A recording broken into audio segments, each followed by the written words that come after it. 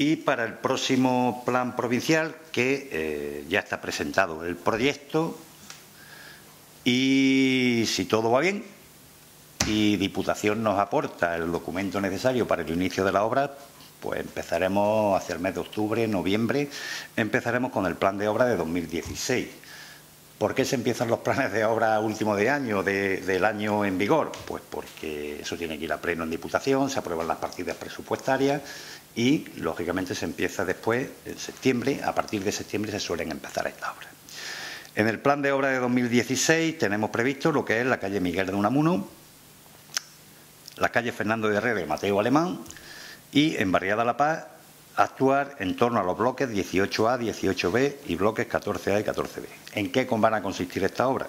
Pues exactamente igual que en todas. Lógicamente, los planes provinciales están previstos para eso, que es para adecuación funcional y remodelación de aquellas zonas en las que se necesita actuar, que debido a la antigüedad de determinadas zonas, lógicamente hay que actuar en ellas.